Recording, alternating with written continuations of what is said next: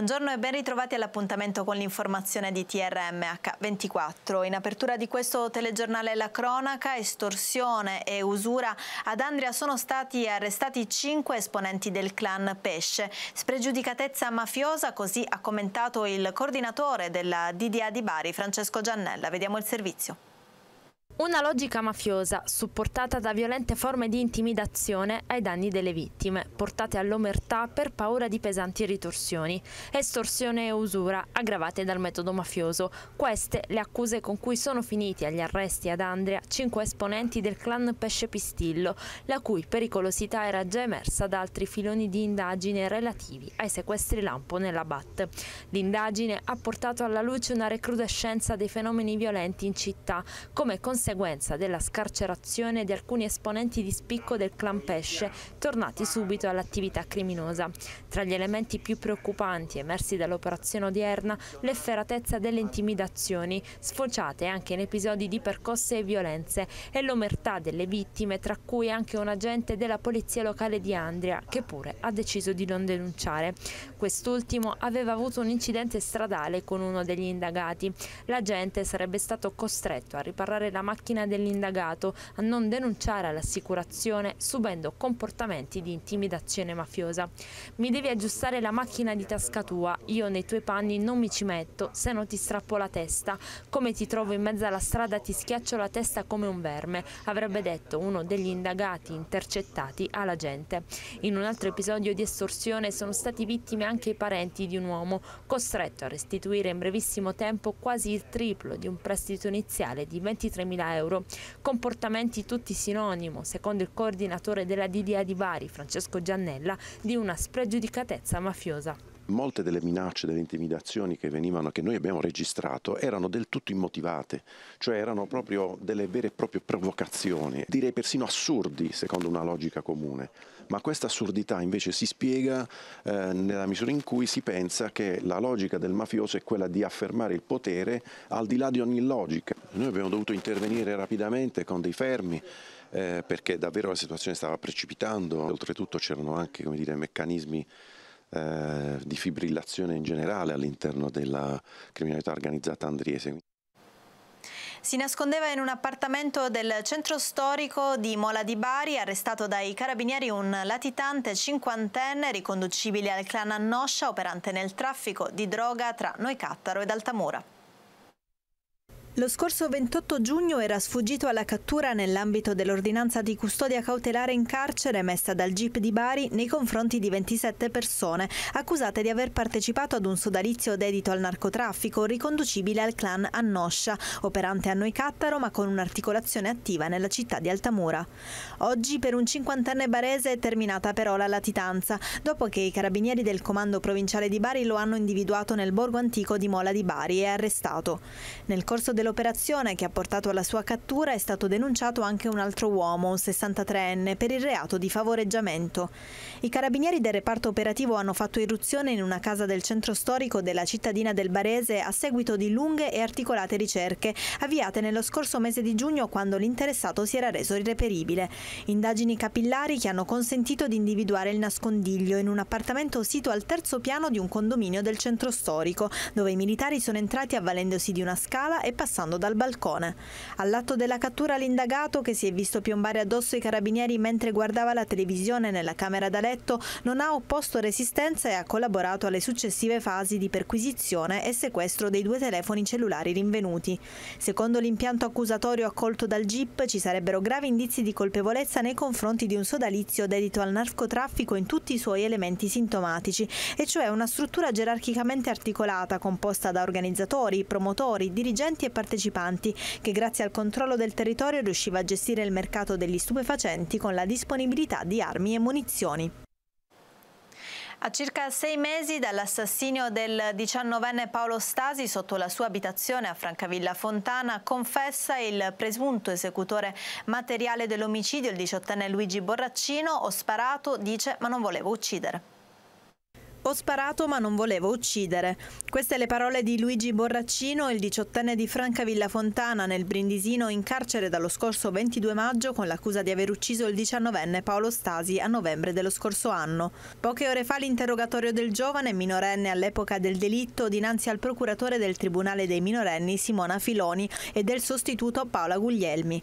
Colloquio nel quale Borraccino ha chiarito la sua posizione, tra cui la circostanza che i colpi esplosi dall'arma che aveva in pugno sono i suoi, ma che ha dichiarato non era sua intenzione uccidere il giovane. A sei mesi da quel tragico fatto di cronaca è stato lo stesso Luigi Borraccino, arrestato insieme ad altre due persone, a chiedere di essere ascoltato, come raccontato dal suo legale. Secondo quanto ricostruito dalle indagini fino ad oggi, il ragazzo esecutore materiale dell'omicidio avrebbe fatto scendere di casa Paolo Stasi con una scusa, per poi sparargli a sangue freddo davanti al portone di casa. Suo complice è un ragazzo di 21 anni che lo avrebbe atteso a bordo di un'auto con la quale i due sono fuggiti dopo il delitto.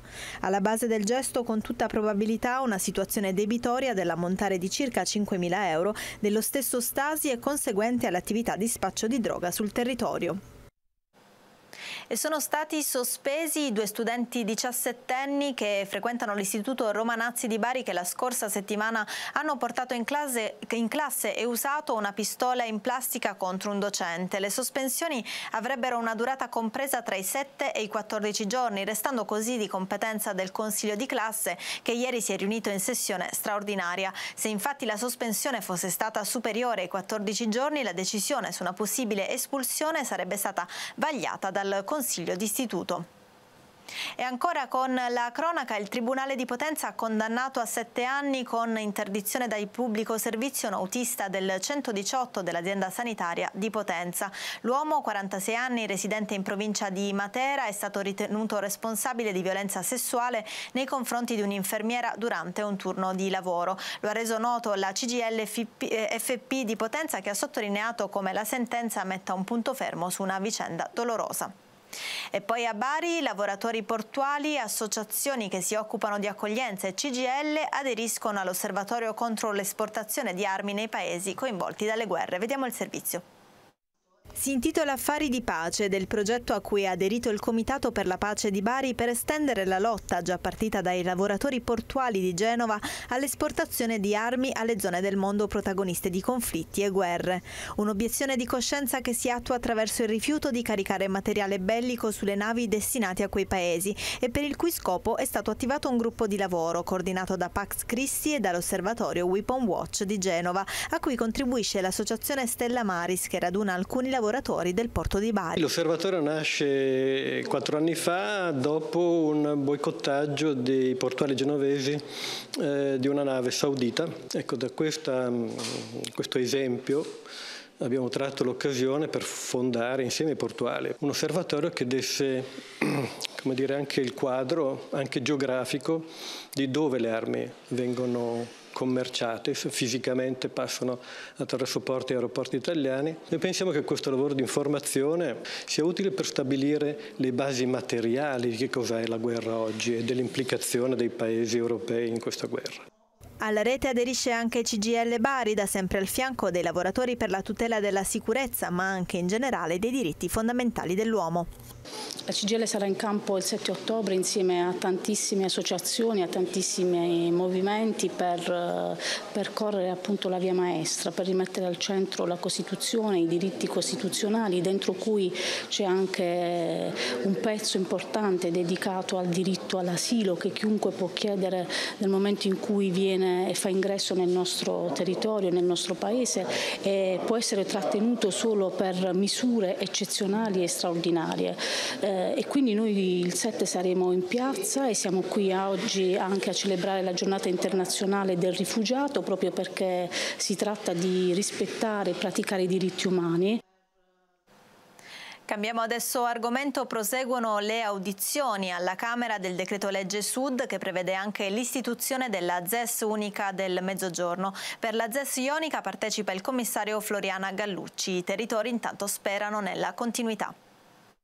Partecipa anche il commissario alla ZES interregionale ionica di Puglia e Basilicata, Floriana Gallucci, alla seconda giornata di audizioni alla Camera sul decreto Sud, il quale prevede l'accorpamento delle attuali otto zone economiche speciali dal 1 gennaio 2024, data dalla quale scatterà fino al 31 dicembre 2026 il credito d'imposta per le imprese che acquisteranno beni strumentali, solo uno degli incentivi previsti per le aziende investitrici assieme allo snellimento degli iter amministrativi e per le concessioni. E sicuramente molto positive l'allargamento a tutto il mezzogiorno della zona economica speciale, peraltro avevamo su questo tantissime istanze di imprese fuori, fuori ZES e quindi sotto questo profilo sicuramente un giudizio Ehm, molto positivo anche insomma, a nome del nostro commissario. Da capire come si organizzerà la cabina di regia ZES interministeriale presieduta dal Ministro per il Sud del PNRR Raffaele Fitto con gli otto presidenti delle regioni meridionali. Una governance unica insomma che sulla base di un piano strategico triennale e una struttura di missione per la ZES garantisca semplificazione amministrativa e la finalità di strumento di politica industriale e infrastrutturale della ZES, conservando e proseguendo si auspica quanto fatto fino ad oggi. Per la ZES Ionica si parla di 46 istanze avanzate dagli investitori, 14 autorizzazioni rilasciate, 60 milioni di investimenti proposti, 47 milioni autorizzati o in corso di autorizzazione e 490 nuove unità lavorative previste. Nell'ambito del DL è prevista eh, diciamo, un periodo di, eh, per assicurare la continuità, quindi un periodo in cui eh, probabilmente il, i commissari per tutta a quel punto allargando la zona a tutto il territorio della Basilicata per quanto ci riguarda e a tutto il Tarantino più eh, Francavilla Fontana della provincia di Brindisi eh, ri, diciamo, eh, saranno in carica per eh, le eh, autorizzazioni fino a che ci sarà il, diciamo, la data stabilita dal DPCM per il passaggio di, di consegne definitivo alla nuova organizzazione.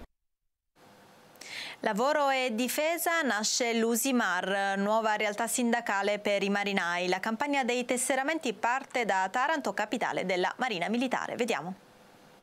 Una categoria di lavoratori, quella dei marinai con caratteristiche specifiche dai lunghi periodi di imbarco a tutte le attività per la difesa della nazione, da tutelare dunque con un sindacato dedicato. Da qui la costituzione dell'Unione Sindacale Marinai, frutto della legge 46 del 2022 e che proprio da Taranto avvia la campagna di tesseramento. Io insieme al mio consiglio direttivo, eh, vista i, la ventennale esperienza che abbiamo nel settore della rappresentanza militare, eh, il vecchio sistema di rappresentatività dei militari, abbiamo eh, deciso di dare una continuità e, e, quindi di far sì che quel patrimonio di conoscenze e di conoscenze non andasse, non andasse perso. E quindi abbiamo costituito l'Unione Sindacale Marinai. Abbiamo deciso di cominciare eh, proprio da Taranto perché riteniamo che Taranto sia la capitale della Marina Militare e in particolare dalle scuole sottufficiali perché questo proprio per trasmettere eh, quel senso di importanza che diamo eh, alla formazione. Le scuole sottufficiali riteniamo riteniamo che siano veramente importanti però perché sono un punto di incontro fra culture ed esperienze eh, di tutta Italia. Eh, quello che possiamo dire ai colleghi è di iscriversi non solo per, eh, perché possiamo dare dei servizi, non solo perché possiamo rappresentarli in maniera eh, importante al governo e alla politica, ma soprattutto per essere partecipi del loro destino professionale, della loro condizione professionale, ma anche per essere anche più incisivi nel bene della società che poi è il, il primo motivo per cui siamo uh, militari e quindi siamo al servizio della nazione. E ci spostiamo ora invece a Foggia, città che omaggia la testimonianza unica del giudice livatino ucciso dalla stida siciliana e beato per la Chiesa Cattolica, coinvolti anche gli studenti delle scuole superiori. Vediamo. La giustizia è necessaria ma non sufficiente e può e deve essere superata dalla legge della carità che è la legge dell'amore verso il prossimo. Diceva così Rosario Libatino, il magistrato ucciso dalla Stidda ad Agrigento. All'uomo di giustizia e fede, venerato come beato e martire dalla Chiesa cattolica, Foggia dedica riflessioni, incontri ed una mostra. Perché si operatori di diritto o di giustizia alla ricerca di verità? Noi non siamo Dio non possiamo leggere nel cuore delle persone e dobbiamo giudicare i fatti, accertare i fatti sulla base di quello che emerge. senza avere la pretesa di raggiungere a tutti i costi un accertamento di verità. Però la tendenza deve essere necessariamente quella di cercare la verità e di poterla affermare. Il discrimine tra operatori di diritto, operatori di giustizia, almeno per come ce la propone la vita del Beato Livatino, è la serietà, l'impegno in non scegliere la via comoda, quella facile, quella sciatta, scegliere la via della serietà professionale a seguire le testimonianze di Levatino, esempio per chiunque operi nel diritto, ci sono anche gli studenti foggiani, un monito per vivere di giustizia. Lui è stato condannato a morte dal capoclan locale perché non si è accontentato della via più comoda, dare il minimo della pena, ha scelto la via più difficile e per questo si è inimicato il capoclan locale che poi ha determinato, ha deciso la sua morte. L'esperienza per esempio del, del giudice non è un'esperienza di mediazione, è un'esperienza di un tentativo con gli altri che lavorano all'interno di tutto questo settore della giustizia di raggiungere un accertamento, di poter dire una parola che ponga fine ai conflitti o indichi come un fatto si è svolto e se c'è una responsabilità. Si svolgono oggi e domani i Job Day organizzati dall'Università degli Studi di Bari per fornire agli studenti la possibilità di incontrare le aziende presenti sul territorio. Vediamo il servizio. 60 aziende in cerca di giovani talenti in occasione dei Job Day organizzati dall'Università degli Studi di Bari Aldo Moro. Neolaureati e studenti hanno avuto la possibilità di incontrare direttamente i grandi player presenti sul territorio. I Job Day che organizziamo periodicamente con l'Agenzia del Placement, che è un corpo diciamo, importante dell'Università di Bari, sono pensati per mettere in contatto laureandi e laureati dell'Università di Bari con le aziende del territorio e anche fuori dal territorio. Quindi l'obiettivo è quello di seguire gli studenti, soprattutto i laureati, anche dopo il corso di studi, il corso universitario, di far crescere le loro opportunità sul territorio e anche viceversa di portare le aziende nell'orbita dell'Università di Bari sempre con l'ottica diciamo, della crescita del sistema. Il 3 ottobre nel campus di economia a Bari spazio alle aree di interesse economica, amministrativa, marketing, finanza, statistica e sostenibilità. Il 4 ottobre invece nel campus campus Ernesto Quagliariello si terranno gli incontri relativi ai settori scientifici, tecnologici, biologici e agrari. L'opera dell'Agenzia del Placement eh, non si ferma soltanto qui perché eh, diciamo, loro raccolgono i curricula degli studenti e le richieste delle aziende e le mettono a sistema in qualche modo in maniera da facilitare l'incontro. Dal 6 all'8 ottobre nel Parco Nazionale dell'Altamurgia si terrà il Festival della Ruralità, un'occasione unica per scoprire e valorizzare le eccellenze del nostro territorio. Vediamo. Storie, paesaggi, sapori e biodiversità saranno i protagonisti della nuova edizione del Festival della Ruralità organizzato dal Parco Nazionale dell'Alta Murgia, intitolato quest'anno Il cibo che narra. Tre giornate dal 6 all'8 ottobre per scoprire le eccellenze del territorio volano di sviluppo agroalimentare ma anche turistico. Il programma è fitto, dialoghi intorno al cibo, laboratori esperienziali, itinerari alla scoperta dei paesaggi e poi ancora show cooking, degustazioni, due mostre e concerti con ospiti d'eccellenza, il duo Fabrizio Bosso e Julian Olivier Mazzariello. Tre giorni dedicati al patrimonio gastronomico del parco che sarà direttamente raccontato eh, dagli agricoltori e dai produttori.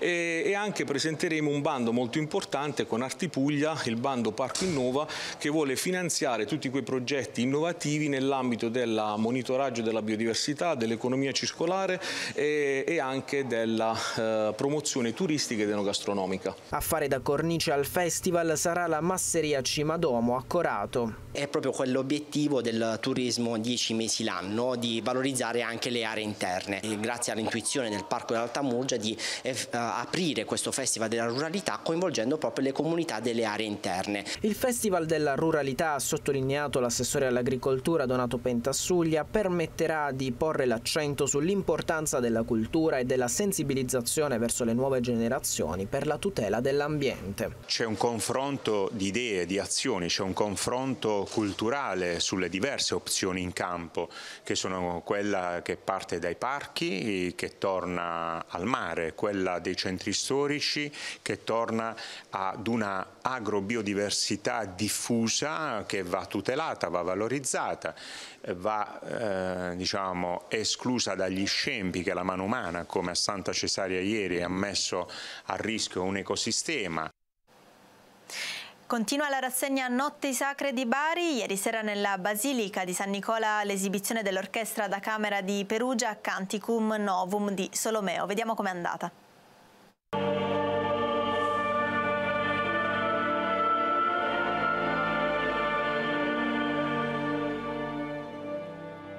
Portiamo un programma molto interessante di musica contemporanea di un compositore americano, Dan Forrest, al quale eh, nel 2019 abbiamo commissionato un paternoster dedicato a Sua Santità Papa Francesco. Poi per ovvi motivi, per la pandemia, non siamo riusciti a, a organizzarne la prima esecuzione e, che è stata rimandata fino al 2023. 22 chiedo scusa. E, mh, abbiamo fatto questa prima esecuzione mondiale per il nostro festival a Solomeo e lo proponiamo qui a, a Bari in questa splendida cornice della Basilica di San Nicola in un festival così importante. Insieme al Paternoster di Dan Forrest seguiremo un eh, Requiem for the Living che lui ha scritto nel 2013 è un requiem particolare pieno di, di, luce, è un requiem che è pensato non solo per coloro che se ne vanno ma per dare conforto a coloro che rimangono e rimpiangono i defunti. in questo le chiese, poi tra l'altro in un contesto così bello e con un repertorio specificamente eh, pensato per, eh, per, la Chiesa, non può far altro che aiutare all'ascolto, alla meditazione e alla preghiera, quindi siamo molto contenti di contribuire a questo scopo così nobile.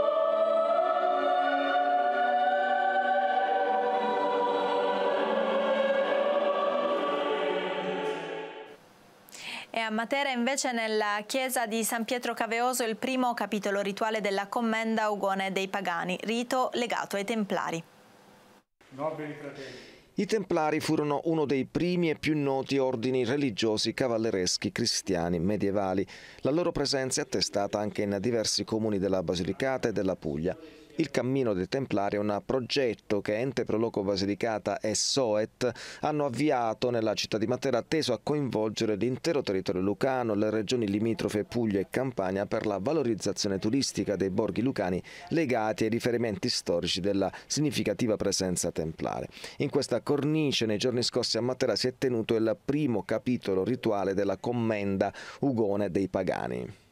La giornata è una cerimonia particolare in cui si incontrano diversi confratelli del nostro sodalizio templare provenienti da tutta Italia. Noi per esempio proveniamo da, dalla Sicilia da Catania, ma abbiamo fratelli e sorelle che vengono dal Lazio, dalla Puglia e così via. Ed è un momento in cui si vedrà l'ingresso di nuovi membri nel sodalizio e si rinnovano i voti, i nostri giuramenti. Onoriamo tutti i cavalieri templari che ci sono al mondo, anche se non sono dello stesso nostro ordine, sono sempre nostri fratelli, per cui l'onore è grandissimo e rispettiamo l'antica tradizione dei Cavalieri Templari facendo la cerimonia all'interno di una chiesa spettacolare come vedete.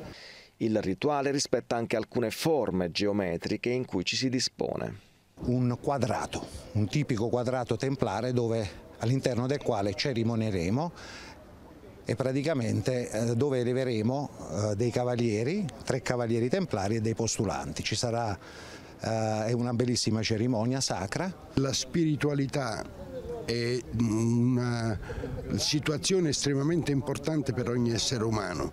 Laddove manca la spiritualità non, non, conclude assolutamente nulla, o meglio può fare solo danni. Eh, noi veniamo per esempio dalla Sicilia, ci sono i confratelli che vengono dal Lazio, eh, alcuni che vengono dalla Puglia, quindi un momento bello per stare insieme. E a Stigliano invece è stato presentato il cortometraggio dal titolo Il morso del drago. Vediamo di cosa si tratta.